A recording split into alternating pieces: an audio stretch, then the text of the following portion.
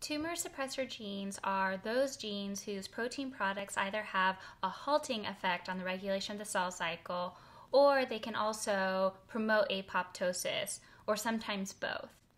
So, in other words, these proteins are like big stop signs that act as safety checks to help stop the mistakes in cell division that could lead to uncontrolled cell growth and cancer. Now, there are several sort of categories of tumor suppressor proteins those that recognize DNA damage and either repair it or initiate programmed cell death, apoptosis, if it can't be repaired, so DNA repair proteins. Then there are those proteins that act as repressors of genes that are essential for the continuation of the cell cycle. So, if these genes are actively repressed and thus not expressed, the cell cycle does not continue on. So, you have cell cycle repressors.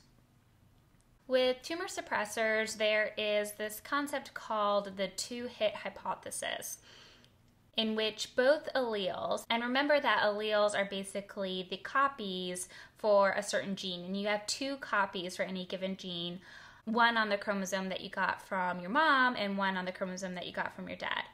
Now, in the two hit hypothesis, both alleles must be mutated before the effect is manifested. Because if only one of the alleles for the gene is damaged, then you have this sort of backup second copy that can still produce the protective protein. So you need two hits, one hit for each of the alleles that you have. Another way you can think of this is that in mutated oncogenes, these alleles are typically dominant, so a mutation in only one of the alleles yields the cancerous phenotype. But with a mutated tumor suppressor allele, these mutations are recessive because both alleles must be mutated in order to lead to the cancerous phenotype. The two hit hypothesis was first proposed with cases of retinoblastoma, a rapidly developing cancer that originates from the immature cells of the retina, the light detecting tissue of your eye. And I'll write this as PRB for retinoblastoma protein. Now, the retinoblastoma protein prevents the cell from replicating when its DNA is damaged. And it does this by preventing progression of the cell cycle from G1 into the S phase, or synthesis phase. So, the retinoblastoma protein binds and inhibits transcription factors, which normally push the cell into the S phase. And this complex acts as a growth suppressor, and so the cell remains in the G1 phase. This complex also attracts a histone deacetylase protein to the chromatin, which reduces transcription of S phase promoting factors.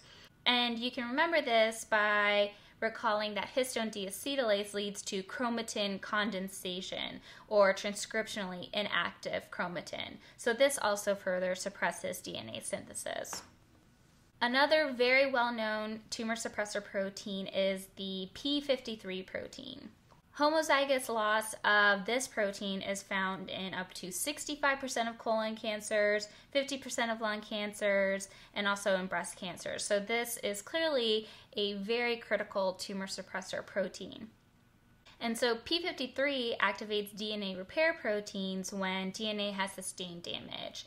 And it can also arrest growth by holding the cell cycle hostage, if you will, at the G1 to S regulation point. And this gives DNA repair proteins some time to fix the damage and allow for continuation of the cell cycle.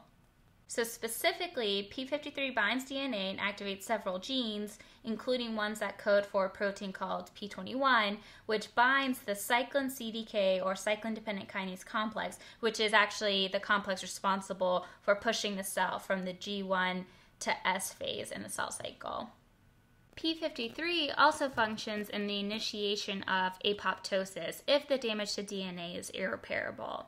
One significant exception to the two hit rule for tumor suppressor genes is with certain mutations of the P53 gene product, which can then result in what is called a dominant negative, meaning that a mutated P53 protein can prevent the protein product of the normal allele from functioning. So don't forget to sort of keep that in the back of your mind when you're thinking about tumor suppressor genes.